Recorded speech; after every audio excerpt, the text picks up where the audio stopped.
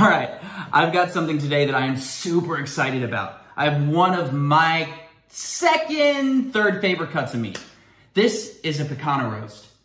It's beautiful. It's also called a sirloin top roast. And it's got this fat cap on here that is gorgeous. Do not remove the fat cap. That is what makes the whole thing delicious, moist. This is melt in your mouth. This is a real treat.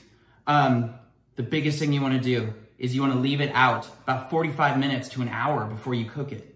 Um, that's gonna make sure it cooks evenly throughout without getting like well done bits and then rare bits. You want this a beautiful medium rare throughout the whole thing. So leave it out. I promise you it makes the world of difference. While it's coming to room temp, start coating it with black pepper. Let it start to marinate while you wait.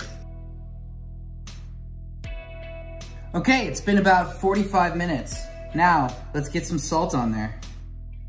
And then what you wanna do, super important, this fat. You wanna cut slightly into it. Not all the way to the meat, but just slightly in. And this is called scoring it. Okay, I have a cast iron pan here that's been preheated. The oven is preheated to 400 degrees. You're gonna put a little bit of grapeseed oil in the pan. Take our steak. Want to do about two minutes each side and then into the oven. Flip it to the fat cap. Sear off some of that fat. Look at that. That's beautiful. This is the color you want. You want a really deep, rich brown on this. Okay, going into the oven for about 20, 25 minutes. 400 degree oven. Okay, once this comes out, I'm gonna serve it with an onion, garlic, and tomato butter. Dice up an onion.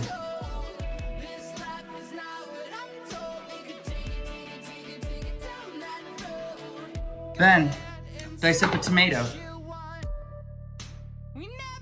Crush up five cloves of garlic. Okay, go ahead, take it out. Transfer your steak over to a plate. Then, in the same pan, take your onions you just chopped. Put your onions in.